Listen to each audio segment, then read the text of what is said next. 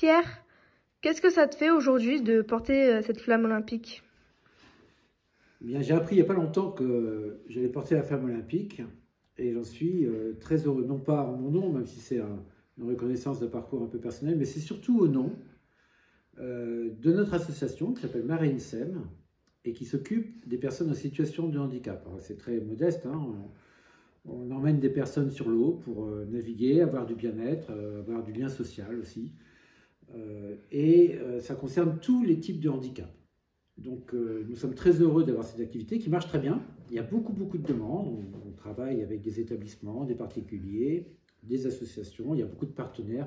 Il y a une grande sensibilisation vis-à-vis euh, des personnes en grande difficulté.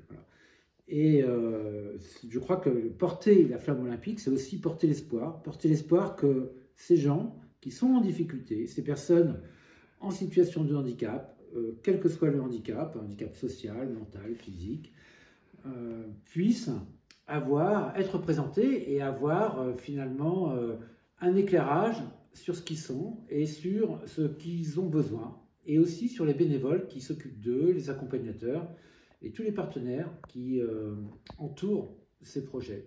Projet d'ailleurs qui a été reconnu par un label récemment qui s'appelle Impact 2024 et qui est lié également au jeu et dont le, but est de promouvoir finalement les actions qui font bouger les lignes et qui euh, font du sport un levier social et environnemental. Alors voilà, nous sommes très contents de porter cette belle flamme olympique et nous espérons avoir derrière nous euh, énormément de personnes sensibilisées euh, au sujet du handicap.